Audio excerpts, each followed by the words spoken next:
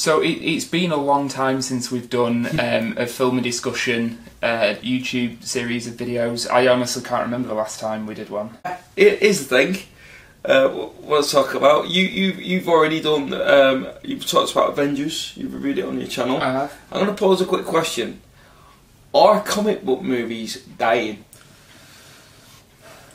No, they're not because I think there's enough variation out there to keep the genre sort of interesting. And I, I think the the way to think about comic book movies is because I know you hear a lot of people make the Mhm. argument there's too many, saturating the market, blah blah blah. See, I, I agree with that. To Personally. me, comic book movies started as a subgenre and they're now a genre. You know, you would never make the argument there's too many comedies, there's too many action films, too many horrors coming out. Mhm. You know, Yeah. it's some will be good, some won't. Qu- quality varies.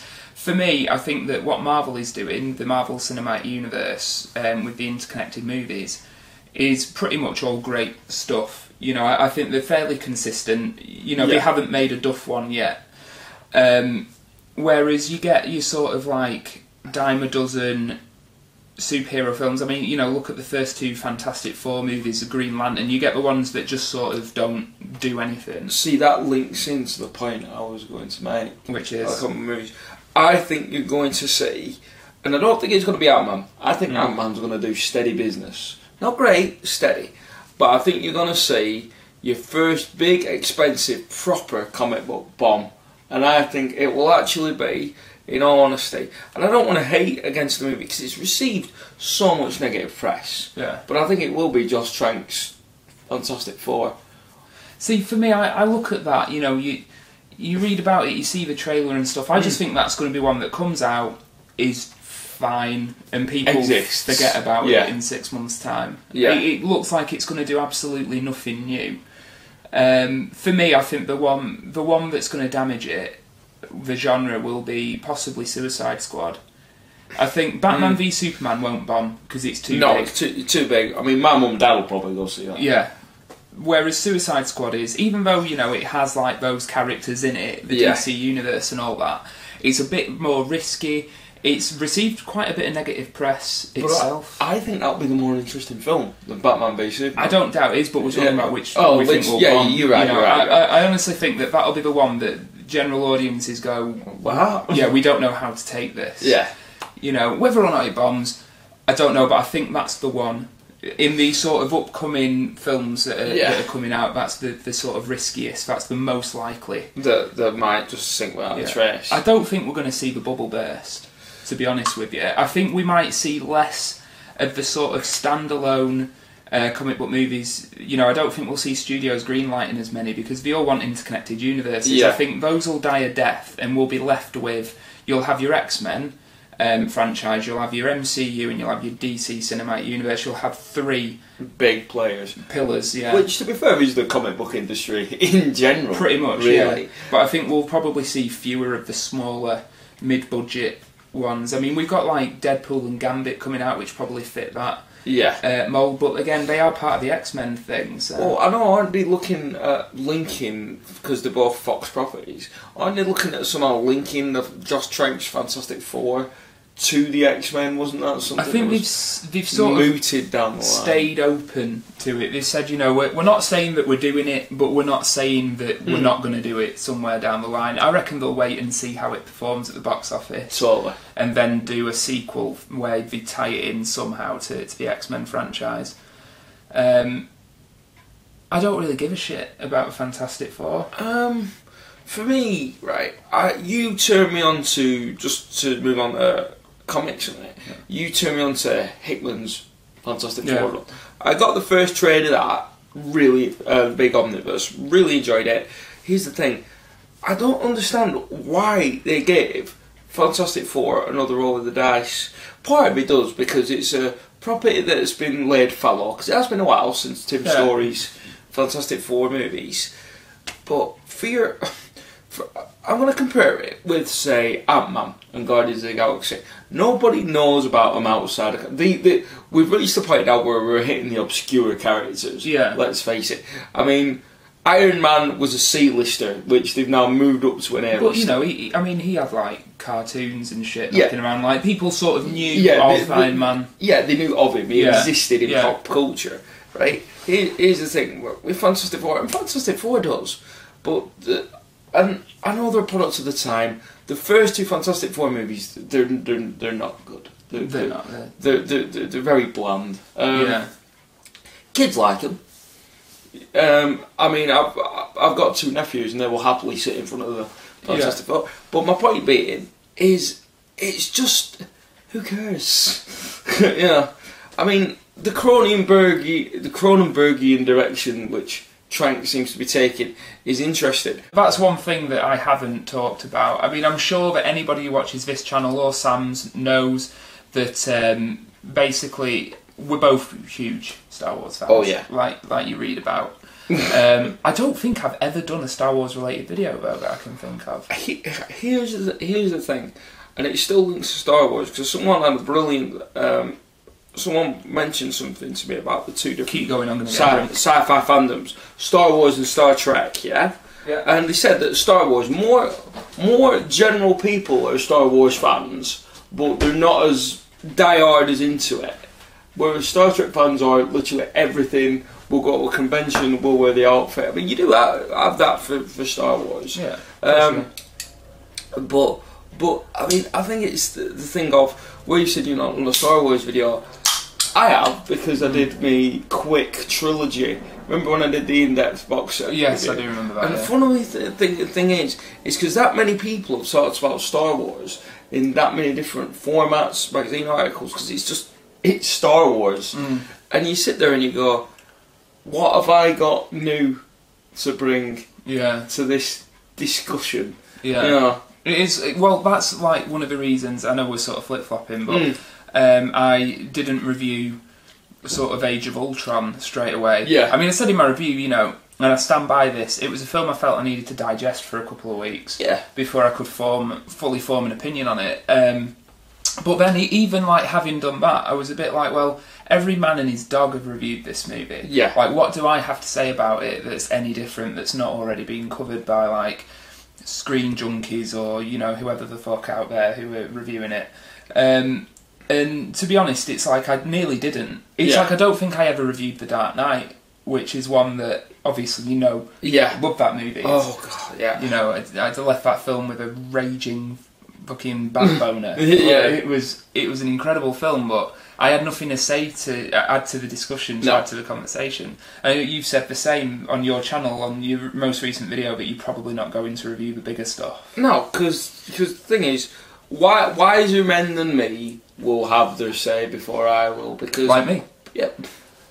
Let's not go next. but Let's not get ahead of ourselves. but the the thing is, right? Everyone has an opinion. Everyone's opinion's valid. But for the really big films, professional critics are gonna go and they're gonna have a look, and you're gonna have all the all the internet people. I mean, don't get me wrong. There are there has been occasions when it's been a big movie, and I've gone. I saw that. I saw something in that, and I don't think they did. Look at us with Man of Steel. We had plenty. Oh my god! Yeah, we did like a forty-five minute review of Man of Steel, which I still, I sometimes because we filmed that like two years Yeah. ago. I sometimes go back and rewatch Yeah, it. I do actually. It's, it's I've like- watched our review more than I've watched Man of Steel because it's more entertaining. Well, the effects are better yeah. Um, but yeah, no, I completely, completely agree. By the way, my neck still hurts where you snapped it at the end. It's like, Yeah, it got weird for a second. I don't understand why they didn't just run underneath your eye beams. yeah. Like, I don't know. Well, basically, we've got to say it was a 40 minute review, that Man of Steel. For our respective partners, bless them, it was an eight hour review, and it? it was a, it was a long weekend for them. Yeah. To be fair, it's like, look, just get on camera, and shut the fuck up about it, please. Well, it's like we've said, you know, it, we saw, like the way we saw Mm. Age of Ultron, you saw it in your gaff. Yeah. You know, I, I saw it in my town, and then a couple of weeks. No, it was literally the week Yeah, it was after, wasn't it? we got wasn't together and went to see it a second time. Yeah. Um, but we've said, you know, I'm, I'm throwing the gauntlet down now. We have to see Batman v Superman together. Yeah, yeah. We're. I feel bad because I feel like we're doing the thing about the movie's not been, you know, almost to the trailer and da da da, and you don't want to be negative and go, oh, the film's gonna suck.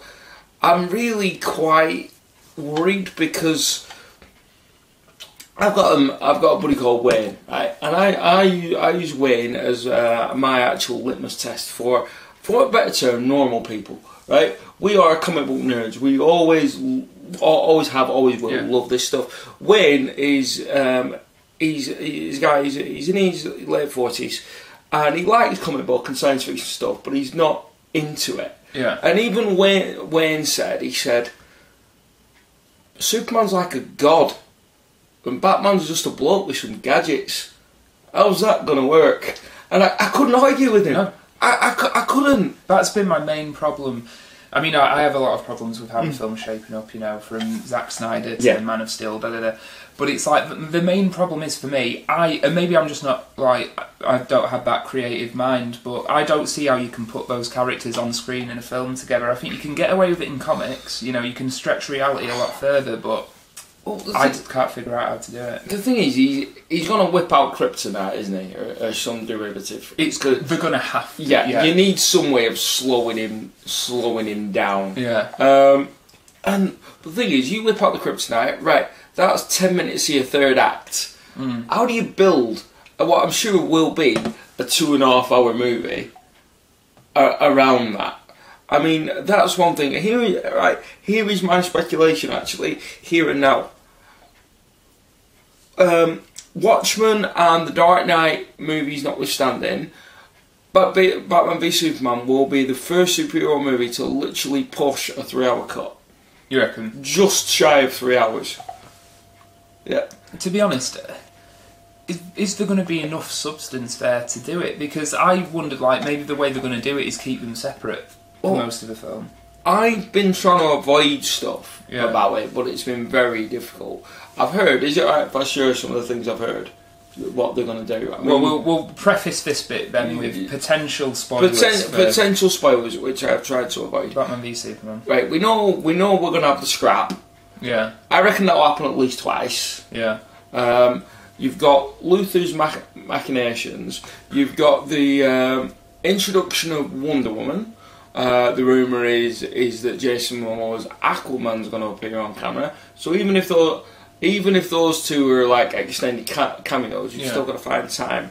The rumor is, and this makes me shudder, Doomsday. yeah. I've heard that. Yeah. and it's too much for the.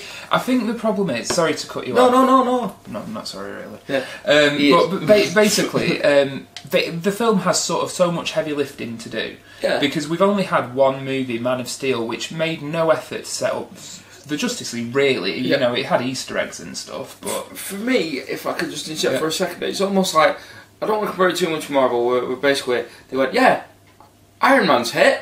We're doing Avengers next." Wait, what? Yeah. you know, slow down. well, Marvel had a plan. They have a plan, Yeah. and I must admit, one thing I worried about. is To another topic, Yeah, yeah. like, this, This this is- scattershot, like Bing, bing, bing. This Richie is- Rabbit. Yeah, this is how hungover Sunday morning minds work. um, it's like when they announced that Spider Man um, was going to be in the MCU, and Oh yeah. yeah, it was like rejoiced. You know, it was the day that Marvel broke the internet. Um, I, I remember being at like I was at work that day and I saw it um, when I before I left. Um, the house and I was like, oh my god, you know, I don't think I'm capable of doing anything today. Yeah. I'm like too excited, but and then I, st- the more I thought about it, the more I started to worry, thinking, well, how much is this going to interfere with Marvel's planned slate of Mm. movies? And, but it turns out, and what sort of gives me um, re- uh, sort of reassurance is that they planned two. They had one they- with him in. They had two boards in the writers' room, didn't Yeah, they? You know. apparently so. Yeah. Yeah. And you can sort of buy that they totally would do that. You Oh, know, if the negotiations are ongoing. Completely. I mean, that just brings you back to the business side of things for a sec. How badly did Sony screw up with their Spider-Man property? I know that you and I. Th- this is one of the few things that we sort of disagree on. Like, Yeah. you have a lot more time for the Amazing Spider-Man than I do, Yeah. whereas I really like the second one. Well, I say I really like it. You find more of it to like than I do. It's a it's a cheesecake of a film. Yeah. It's like I know it's bad for me. I know it's unfulfilling, but I enjoy it while I'm it consuming it.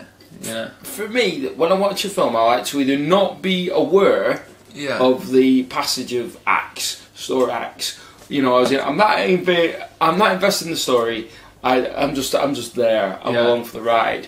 Or I do like to go right. Okay, I know where we're going. And I remember watching Amazing Spider-Man 2. Okay, first act, more of the first act. We're in the second. No, we're still in the. All right, we're entering the third. Oh, what act am I in? Where Yeah. am I in this story? Drowning. See, I completely agree, but while I was watching it, I was like, it was sort of just washing over me, and I was Yeah. like, I'm just enjoying this for the cartoon that it is. I loved the quips. I loved. I will say this: they actually got the fact Spider-Man's main weapon, not the powers, his his sense of humour, his, his hmm. mouth.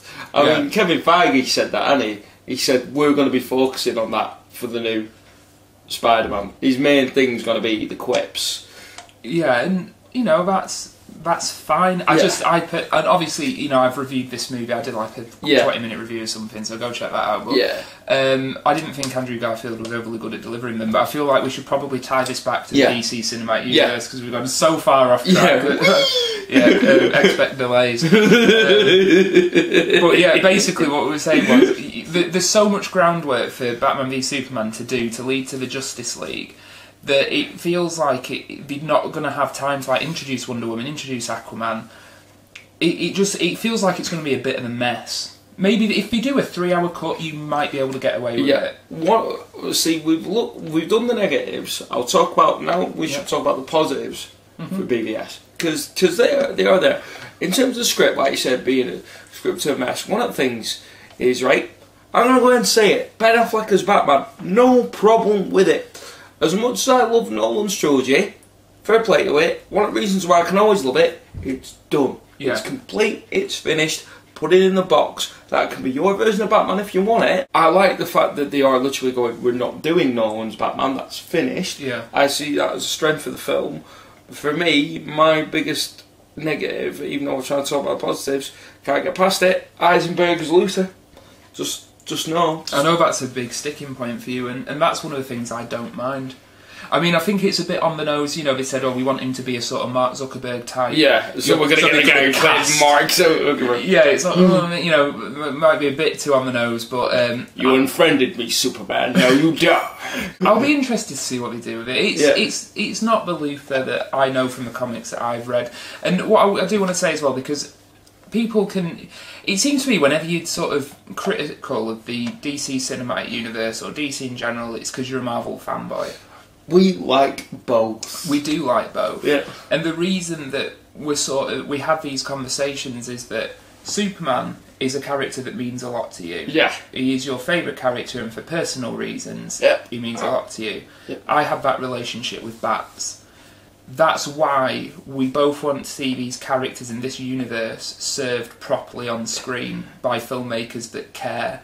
You know, and I, I, I've been in scenario like in situations where I've criticised DC and, and had my head bitten off. Yeah. You know, you can like both, it's a sports mentality and da da da. It's like, I do like both. Yeah, yeah. That's why I'm fucking criticising. I also like good fucking movies. Yeah, exactly. It's it's ridiculous because you know, flashback seven years, Dark Knight came out, and DC was killing it. Yeah. You know, Warner Brothers was killing it. They were miles ahead of Marvel. Yeah. I know. Dark Knight came out same year as Iron Man. Really, compare the two, Iron Man and the Dark Knight, there is no comparison to me. One Yeah. is a film, one is a movie. Yeah. You know, th- and that's absolutely. when they were on top. It was Man of Steel was so mediocre.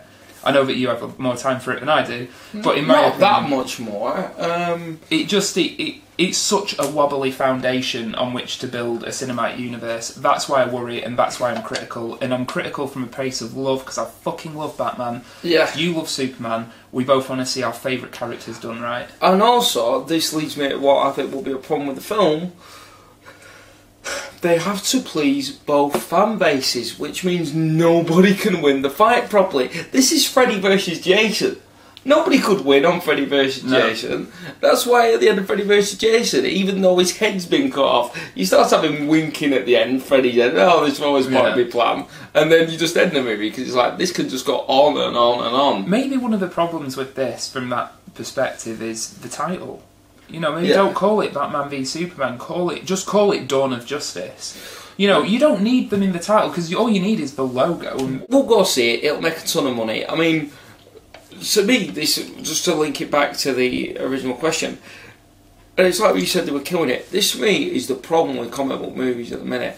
You're getting really interesting characters like Guardians of the Galaxy. No one gave a shit about Guardians of the Galaxy. Yeah. That was an A tier, right? Yeah. That was obscure of the obscure. And it's great. Here's the thing. And I love that. I love that obscure characters you're given the day in court. The counter argument to this, and this is why I think there's going to be a huge problem, in those rooms with the suit is a comic book. Yeah, everything's getting greenlit.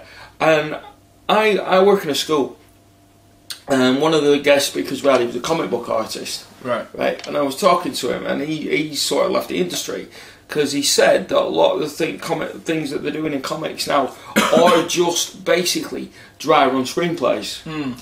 And I think that over the last six or seven years, I think that really has happened Right. for a lot of the books. It's like Green, Green Arrow at the minute, the comic book has introduced Felicity, Felicity Smoak and John Diggle.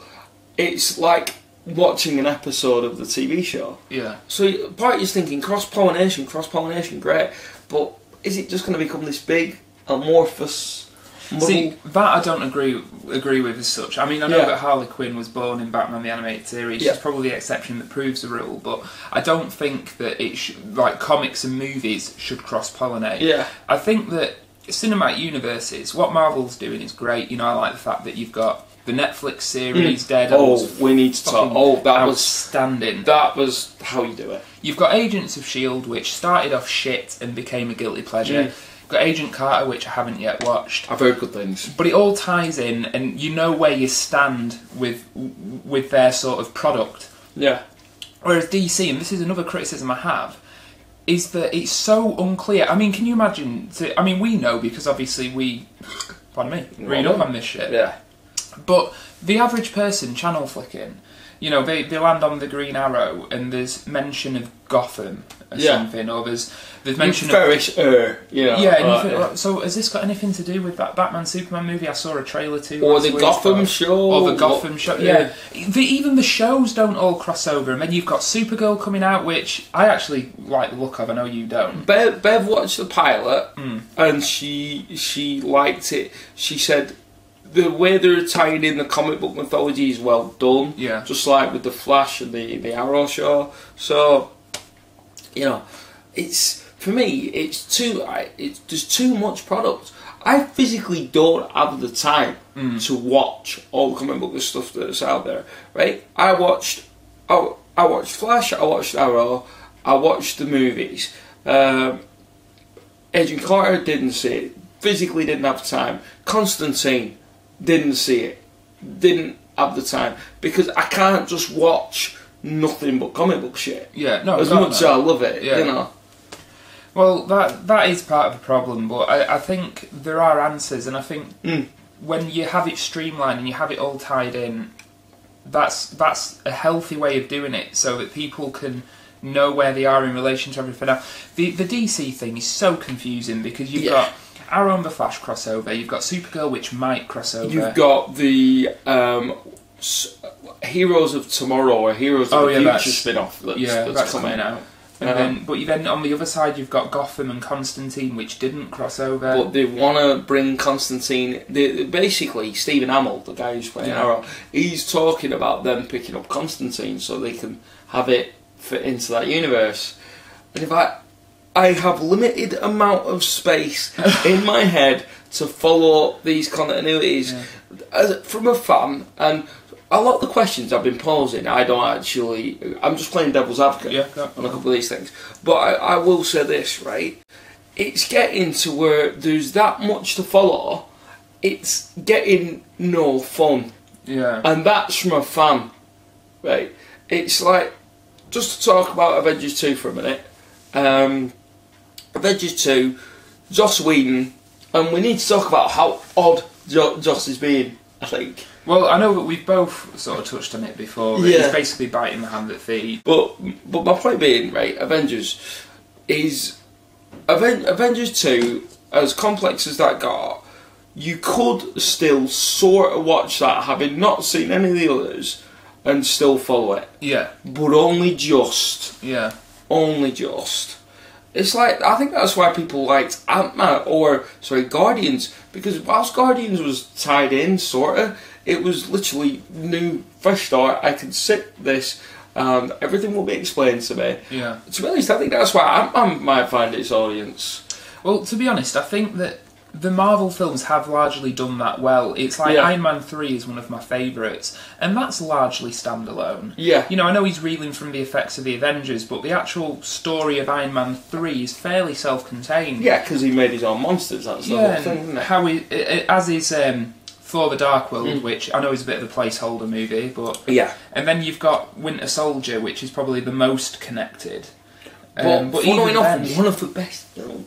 Yeah, yeah. yeah, definitely. Yeah. It's definitely in the um, the top three for me. Oh yeah. And Guardians, so like Marvel are doing it well. I think though with the Avengers picture because it is a film that sort of it's the biggest. And this is what I said in my review. I wanted more of the interconnected tissue. You know, I wanted more leaning towards Ant Man and Civil War. I think we were sold a different film in the trailer because the line that she kept saying was in the teaser. It kept saying "change, nothing lasts forever," Yeah. and it was sold up in interviews as if this will be The, the game changer. redefining thing for, for, for the Marvel Cinematic U.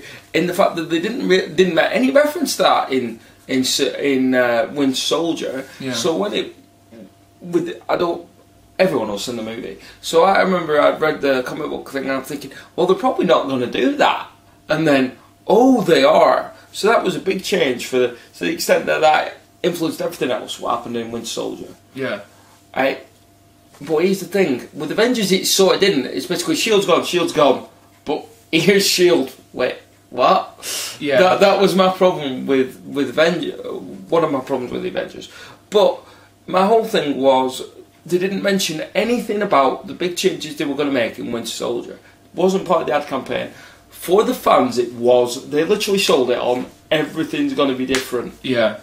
And it wasn't. No, It, wasn't. There were, there were two. There's a new team. There's a B team. That's Yeah. that's it. Yeah, that's, Yeah. that's pretty much it. Spoilers for Age of Ultron. yeah. I, I want to finish by, and I know we we do this regularly, putting you on the spot and asking you what's next for your channel because I watch your channel, Right. And you know your your videos are very few and far between at the moment, as, Yeah. as mine have been. Um, but I'm I'm gonna I'm gonna put on the Cannon um, retrospective that you asked me to do. they don't know about Uh, that. it's sorry. basically it's a retrospective on on Cannon films that I'm going to do. They were the slot masters of the uh, mid '80s to early '90s. So basically, I'm I'm going to do that, um, and I'm I'm just going to see where it goes. To be honest, it will be entirely reliant on requests. If you ask me to do something, I will try and do it. I've had a few people asking me for hundred uh, favorite movies. Like I said, the list is fried. If you want me to redo that, you've got to give me some time to rebuild the list, Yeah. which ain't no quick job. Um, but yeah, you ask me for it, I'll do it. Apart from Donkey. yeah, Jack, you've been sending emails under your different name again. Admit to it. You know you did it. Yeah, yeah. I have problems. So on that highbrow note. yeah, so what we'll do, we'll leave it there. Um, as always, if you haven't already subscribed to Sam, go do so. Um, I hope you've enjoyed the video. You know, if you'd like to see us do more videos together and tackle certain topics, leave a suggestion in the comments. You know, we're, we're open to suggestions and shit. Maybe next Yep. time all together we'll film something. Um, so yeah, thank you for watching, guys, and as always, we'll see you in the next video. Tatty.